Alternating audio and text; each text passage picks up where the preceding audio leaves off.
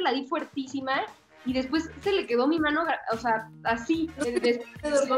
estás loca, te lo juro, estás loca. ¿Cómo sí, sí, hacerlo?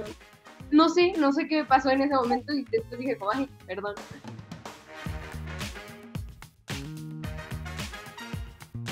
¿Qué onda? Yo soy Marijo Mariscal. Hola amigos, yo soy Shaula Ponce y el día de hoy vamos a estar reaccionando a nuestras escenas de La Rosa de Guadalupe. Pero no cualquier escena, sino las más famosas en el canal de YouTube de La Rosa de Guadalupe. ¿Estás lista, Shaula? Yo nací lista, así que vamos a verlas. Me dejaste chiflando en la loma, Daniela.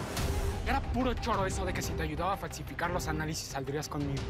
Pues sí, tonto tú que te lo crees. Y mira, ahorita no estoy para tus reclamos. Esto no se va a quedar así. Le voy a decir a todos que eres una mentirosa. Primero andas ahí de ofrecidota y luego te haces la santa. Oye, ¿qué te pasa? Yo nunca me hubiera fijado en ti. Eres un mecánico mugroso sin oficio ni beneficio. Así que ya déjame en paz ahora sí, ¿no? Mi muñequita, el punto final lo pongo yo. Tienes algo pendiente conmigo, así que cuídate. ¿Escuchaste?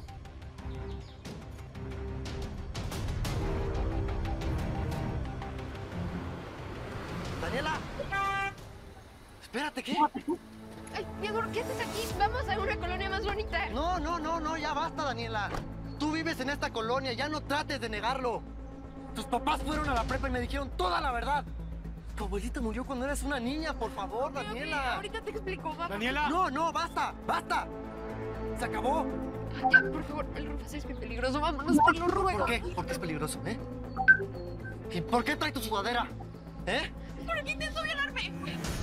Cuando yo le dije que no quería nada con él y me logró desaparecer y se quedó con mi sudadera. ¡Maldito infeliz! ¿Cómo te atreves a intentar violar a una mujer? No sé qué me hablas, pero lo mejor es que te largues, Junior. Este Junior te va a enseñar a respetar a una mujer. Y Alejandro, mejor ya vámonos. Hazle caso a tu noviecita y lárgate. Órale.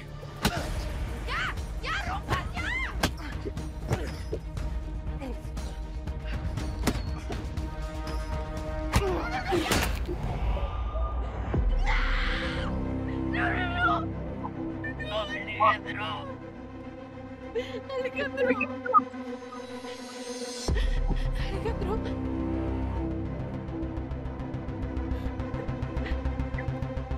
¡No mataste! ¿Qué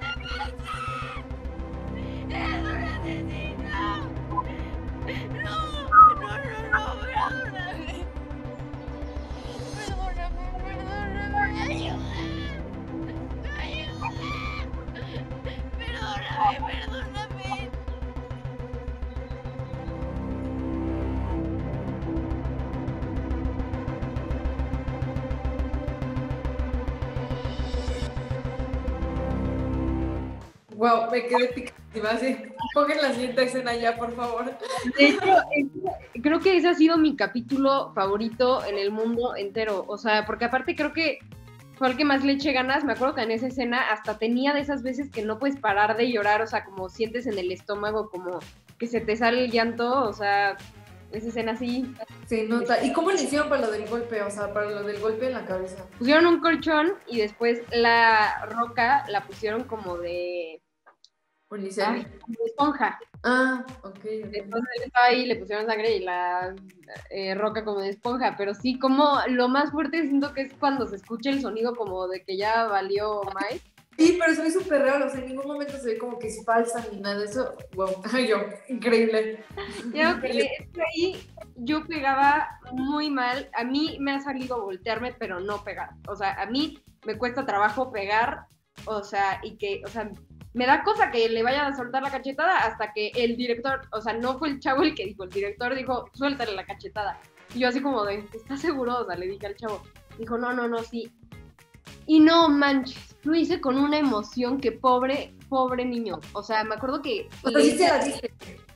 Sí, sí, sí, pero ni siquiera se la di de que para tocarlo nada más, sí se la di fuertísima y después se le quedó mi mano, o sea, así. estás loca, te lo juro, estás loca. ¿Cómo sí, hacerlo? No sé, no sé qué me pasó en ese momento y después dije, ay, perdón. y aparte la que le pegué súper fuerte, no quedó. O sea, le tuve que volver a pegar. No te creo. sí. No me puedes dejar así. Está bien. Primero me dices que sí y ahora me cumples. Espérate, algo que no maldita.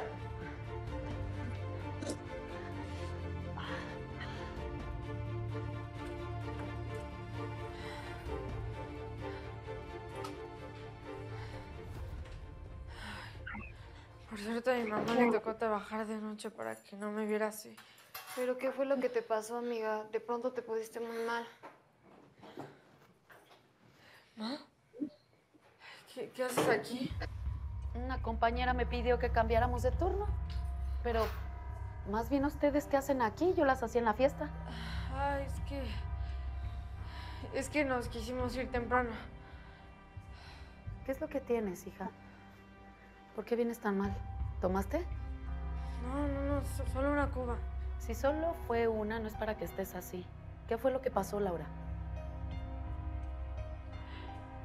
Es que de pronto me empecé a sentir muy mal y...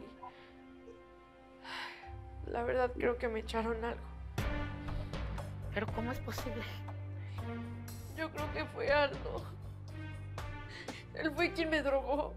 Él me drogó.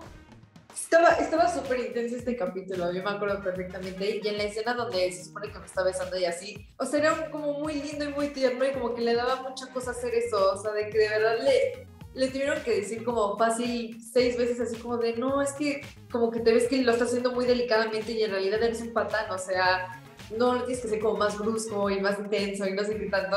Pero gracias a Dios a mí no se me hizo nada incómodo, o sea, como que al contrario, como que lo vi que era como tan tierno y que no tenía malas intenciones que dije, ay, o sea, no pasa nada, ¿sabes? Me sentí muy segura.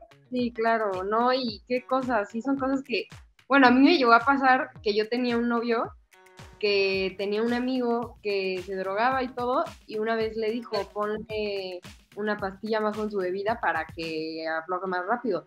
Y gracias a Dios nunca pasó, pero sí son cosas que sí, o sea, Es que pasan. Luego hay gente que, o sea, se lo ponen en la rosa para que capten y tengan cuidado, pero luego hay gente que como que dice como, pues esas cosas pasan, pero no me van a pasar a mí. Justamente, y es que es que nos damos cuenta, que muchas veces pues como "Ay, son cosas que literalmente solo pasan en la Rosa de Guadalupe, pero no, o sea, luego te vas enterando y de verdad son cosas que pasan muchísimo, o sea, de que ellas en algunas zonas o en algunas personas de que súper normal, o sea, de que sí pasa muy seguido, o sea, de que casi todas las cosas que, o todos los temas que salen en la Rosa son porque sí pasan, ¿no? En realidad.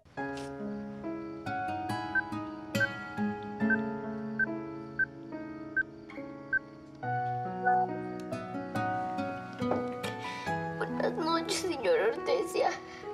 Disculpe la hora, pero me urge hablar con. Toñito,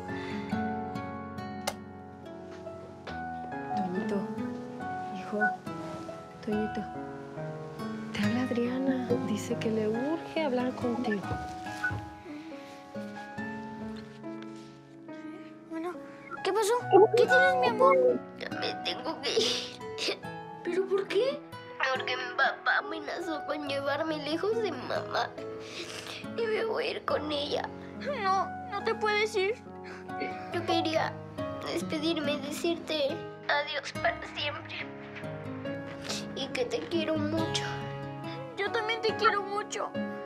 No, no te puedes ir. ¿A dónde te lleva tu mamá? No lo sé. Pero sabes mi teléfono. Llámame en cuanto sepas para ir a verte. Sí, yo trataré de llamarte. Oye, Majo, y para ti, o sea, ¿cómo sentiste así grabar en la Rosa de Guadalupe? Y además tan chiquita, o sea, tenías nueve años y además, por ejemplo, en esta escena estás llorando, o sea, como que no se te complicaba o algo. Pues sí, o sea, es que bueno, a los seis años, como ya había estado en una novela, lloré, lloraba mucho, más que nada, luego me decían, si no vamos a conseguir otra niña, y me hacía llorar. Yo me acuerdo que, bueno, de niña yo lo hacía porque me encantaba y cuando me veía para mí no, o sea, no lo tomaba tan sorprendente como más adelante que ya dices como estoy saliendo en la tele. Siento que de chiquita lo veía más como, como lo que me gustaba hacer, o sea, y que conforme fui creciendo, ya fui diciendo como, o sea, me fue llegando el 20 de hora, le estoy saliendo en la tele, qué padre, y lo vi más como ya voy a ser más reconocida y todo, pero de chiquita no captaba eso y era más hacerlo por gusto. Bien, Alicia, resolviste muy bien todos los ejercicios.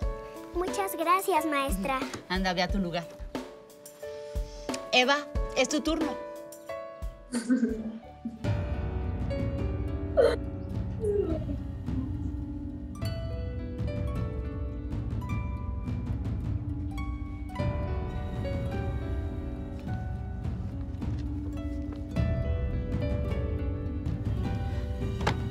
No es posible, Eva. No le atinaste. A ninguna respuesta. Es que las matemáticas no me entran, maestra. Pues eres la única mensa que no logra resolver bien los ejercicios. Pero yo sí le pongo atención.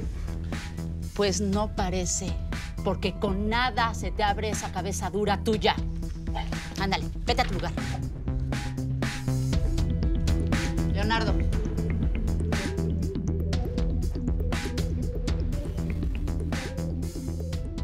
Te pongas triste. Es que la maestra me habló muy feo. En el recreo vamos a jugar para que te sientas mejor. ¿Y así es como dices que pones atención, Eva? Platicando. Deja de hablar para que pueda continuar con mi clase.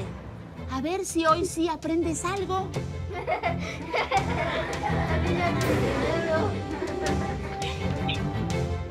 Qué bien entiendo a Eva.